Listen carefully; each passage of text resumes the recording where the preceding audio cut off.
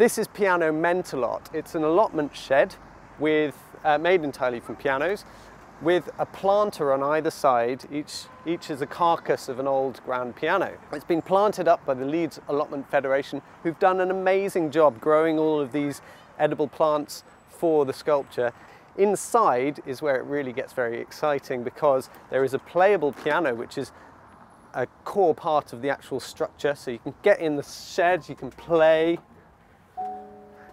And behind me, there's this amazing exposed piano harp. And the cherry on the top is Hannah Stained Glass is a wonderful artist and she created this bespoke stained glass window for the piece. Along with everything else, it's just an absolutely beautiful sculpture.